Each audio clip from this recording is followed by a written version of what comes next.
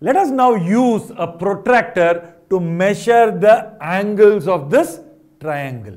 So first I take a protractor and I'm going to move this protractor such that this point, what is that? That is the vertex A. It should basically match with the center of the protractor. Every angle you want to measure, the vertex of that angle must match the center of the protractor.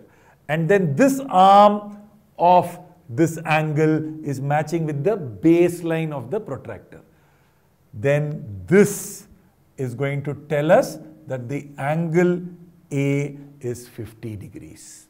Now if I move the protractor that way, then B is now matching with the vertex, right? Vertex B is matching with the center of the protractor and this is the baseline. So we're going to start counting from 0 and we're going to count like this. So as we count like this, we reach 50, 51, 52, this line here, that is 53.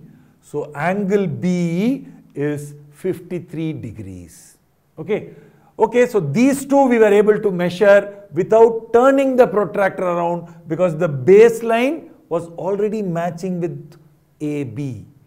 Now if I want to measure angle C, this is one of the arms, that is another arm. So the protractor must be turned to fit with this arm. Okay, so we're going to turn the protractor around and the center now matches the vertex C.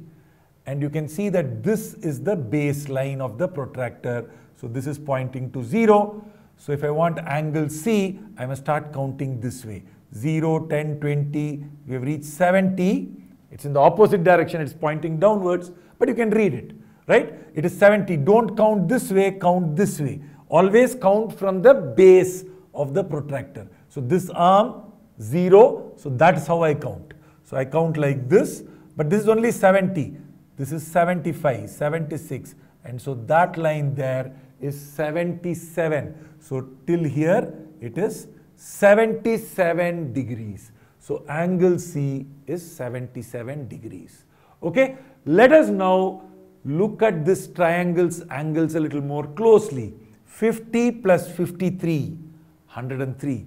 103 plus 77, 180. So if I add angle A plus angle B plus angle C, I get 180 degrees. Let us see why.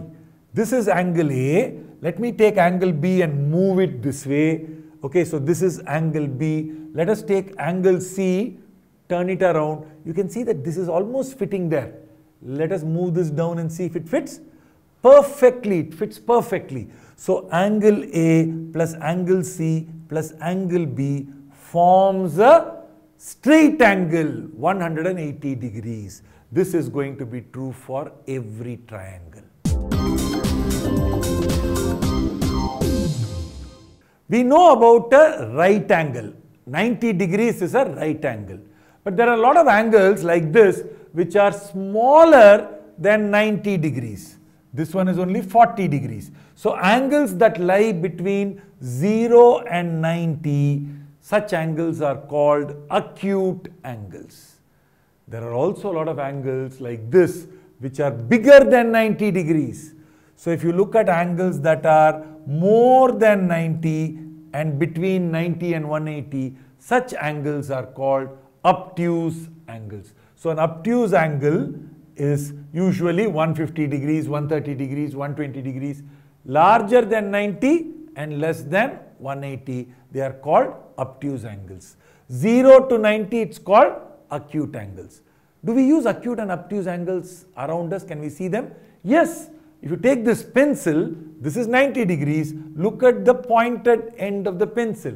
Clearly this angle is smaller than 90 degrees. That is an acute angle. If you take this piece of a watermelon, this angle is an acute angle. These two roads are parting ways. The angle between the two parts is an acute angle.